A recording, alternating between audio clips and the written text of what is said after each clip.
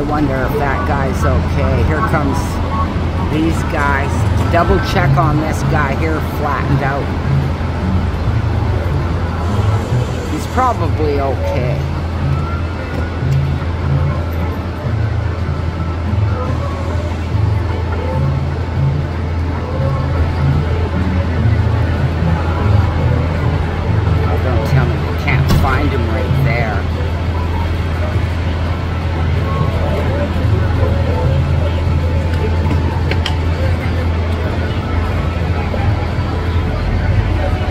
Guess this is the one time they might need to have called him.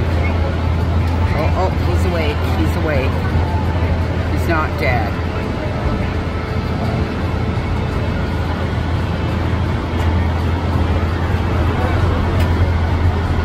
Sure in bad shape. This is how Sarah Bly makes her millions.